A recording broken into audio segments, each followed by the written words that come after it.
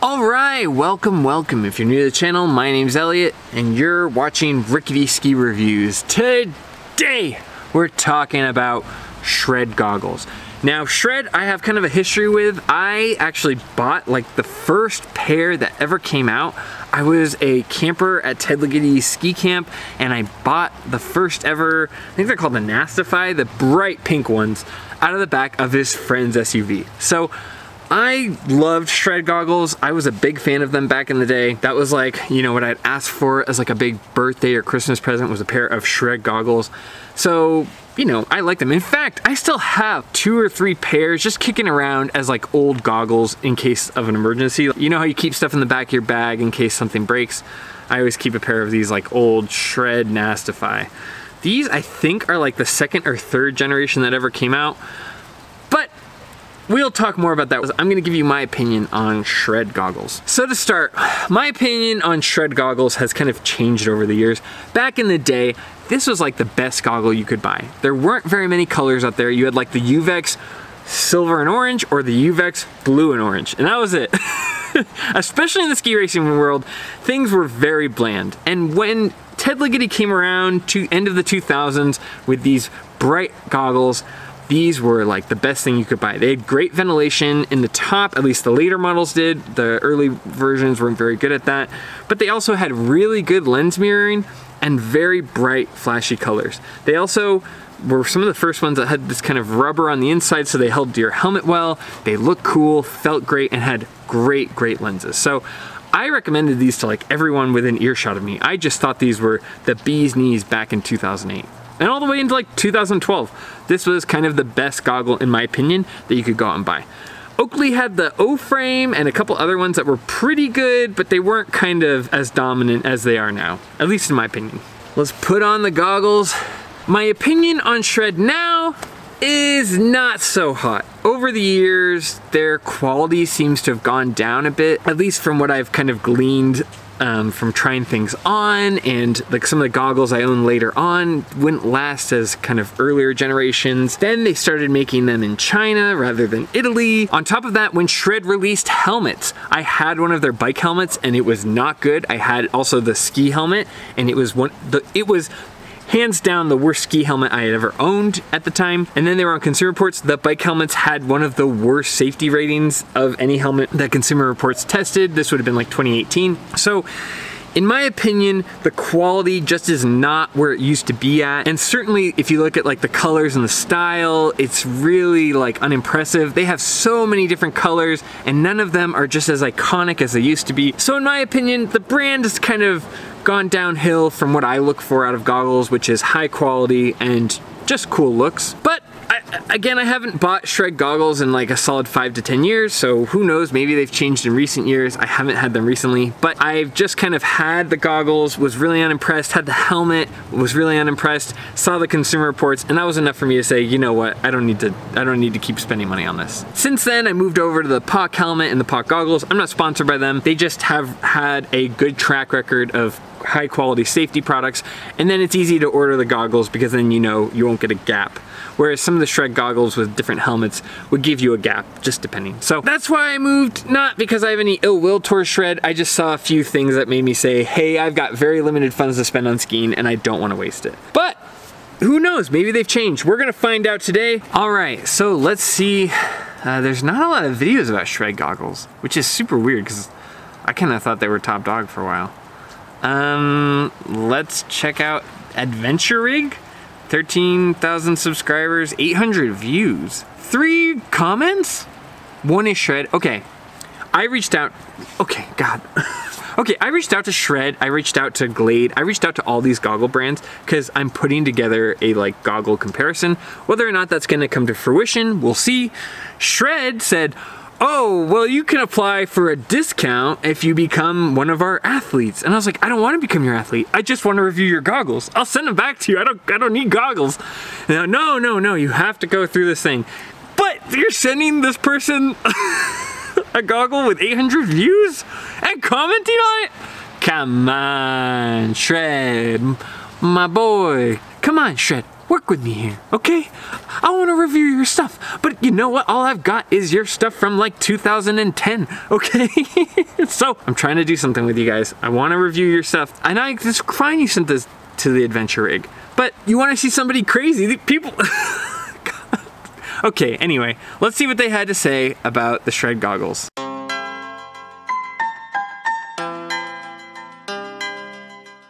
With Adventure Rig, and is there anything more exciting than pulling out a fresh pair of goggles to go skiing in?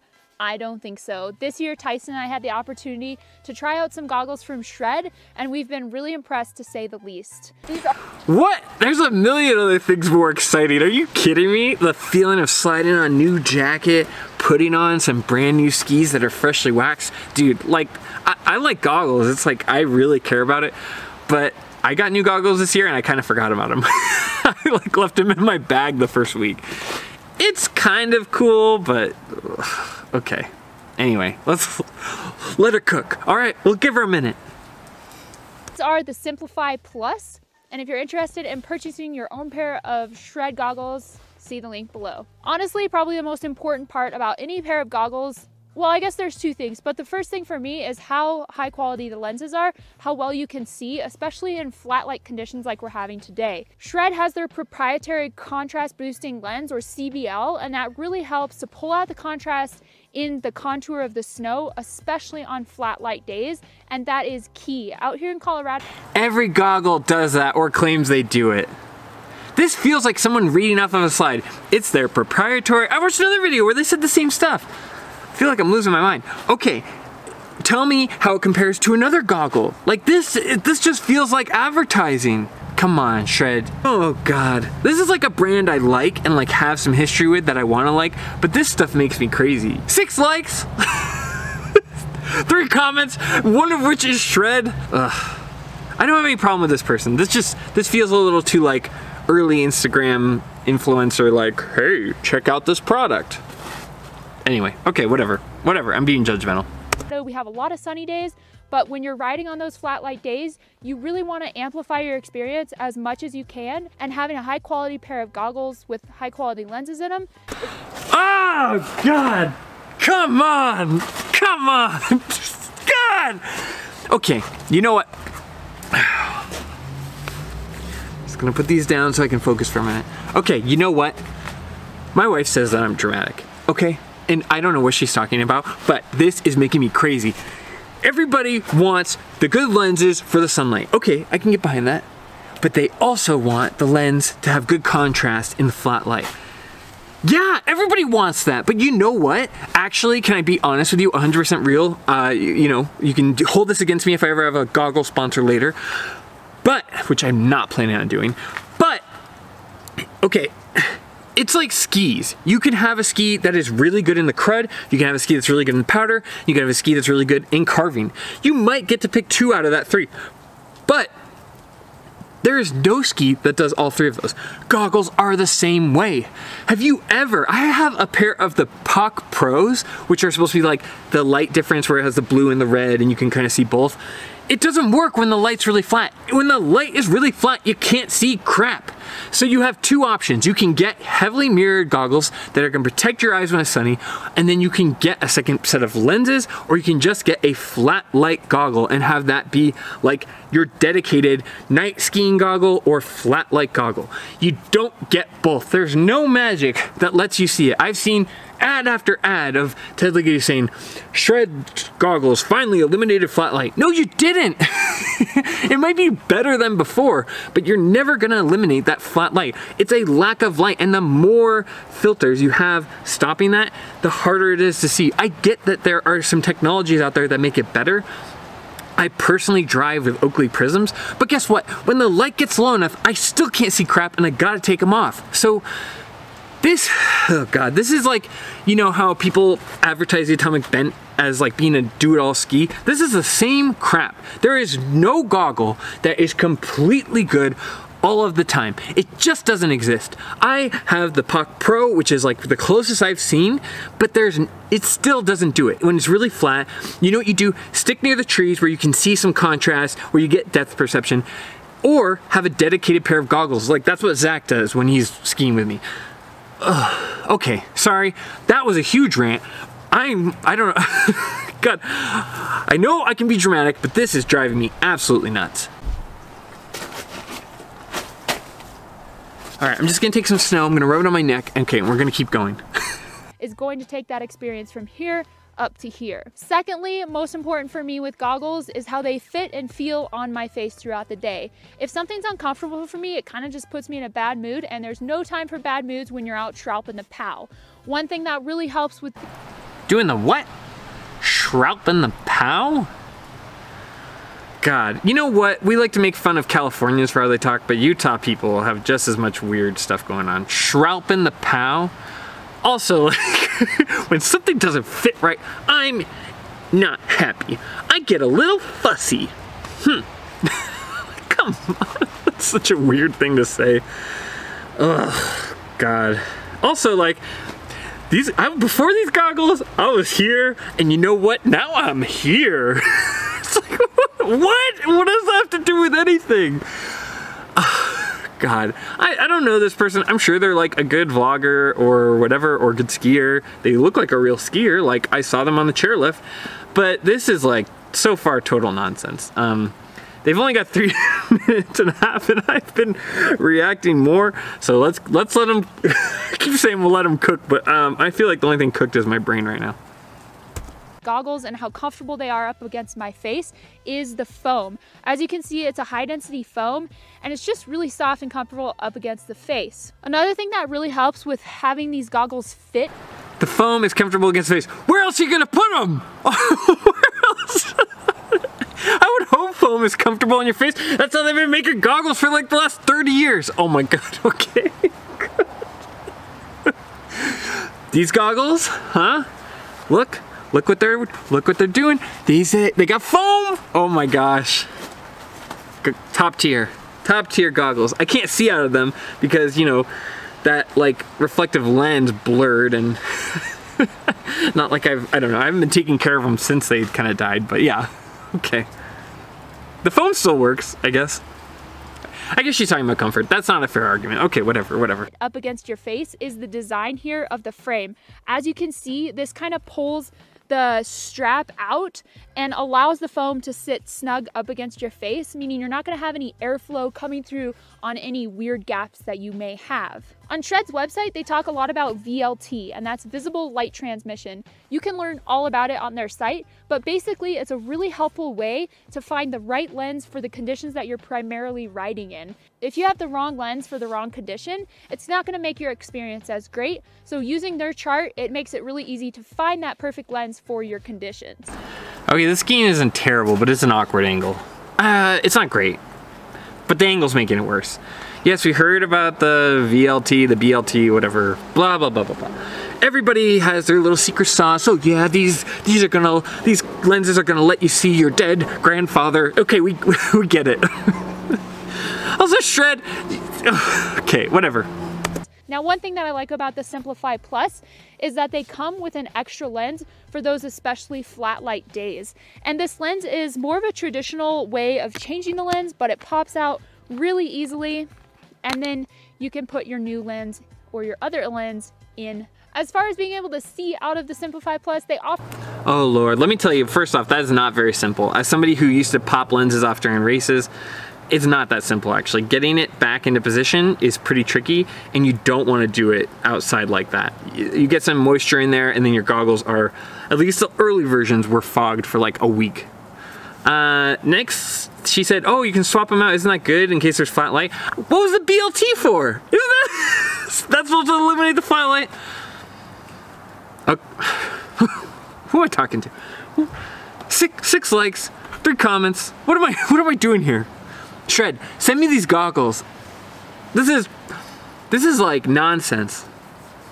Whatever, whatever. I don't care if Shred sends me or not. You know what? I'm gonna like find a pair on eBay or something. Shred, if you want to send them to me, that would make it easier, but you know, I can do it quicker if you just send them to me.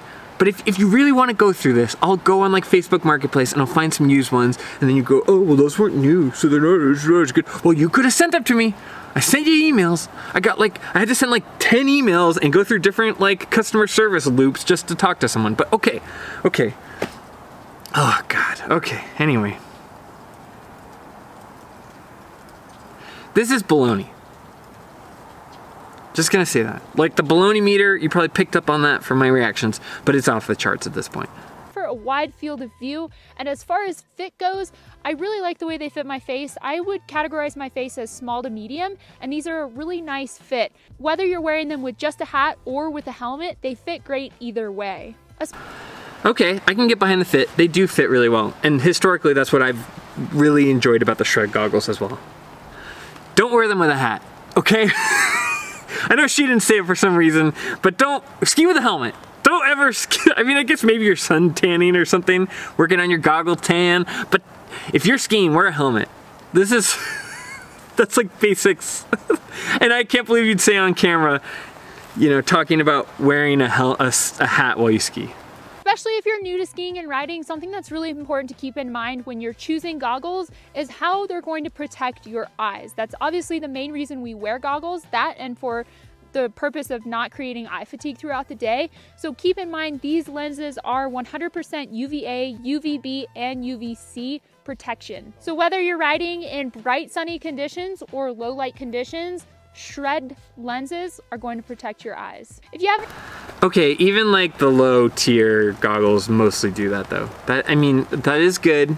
That is an important thing. It's like sunscreen, right? You want to protect your body from the harmful uh, UV radiation of the sun. But you could go to Costco and pick up a pair of like $30 goggles that would do the same. And these are like, these end up usually like 200, something like that. What do these cost? Shred Simplify goggles. Yeah, like these are $250. Yeah, they're $250. So, so yes, it's important, but it makes it sound like other goggles don't do it questions about the Simplify Plus, please leave them in the comments section below. We'll get back to you. Also, if you're wondering where we are or what we're up to, check us out on Instagram and Facebook at Adventure Rig. Again, if you guys would like to purchase the Simplify Plus or any other Shred goggles, check out our link below and also be sure to check out Tyson's review of the Amazify goggles. Thanks again for watching. I'm Callie with Adventure. She said that like twice in the video. Uh, I know that like you gotta make money somehow, but geez, you don't have to shove it down my throat. So, that was mostly nonsense. That was like Instagram marketing, but on YouTube. I don't know what to tell you. Shred goggles historically have been some of the most comfortable goggles I've ever had. They also do a really good job with their reflective lenses as far as like keeping sunlight from just hurting your eyes and making you squint. But over the years, I do feel like the quality has kind of become watered down. I guess I haven't tried them in like the last, oh God, I don't know, eight years or something. So I, I, I, can't give them like a totally fair assessment. But you know, as you can see with these, they definitely broke down in a pretty gnarly way. And this review was total nonsense. She seems nice. I mean, it seems fine. I have no issue with her or her partner in particular. But this review was not a review. It was a sponsored video, right? I'm sure that's an affiliate link that takes me somewhere else. I don't know. Uh, she, if she's sponsored, I wish that she would disclose that. It seems heavily sponsored. My, you know, radar's going off. I guess I don't know, but that is just kind of my feel on it and my opinion. I don't have any evidence towards that, so I don't know, but I would guess that she may be sponsored.